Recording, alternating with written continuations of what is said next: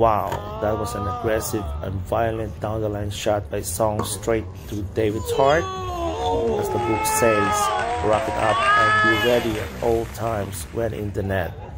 Obviously he was not, thus he got punished. Looks like the Charles and Portland violence is spreading fast and has arrived in Alhambra. Not good.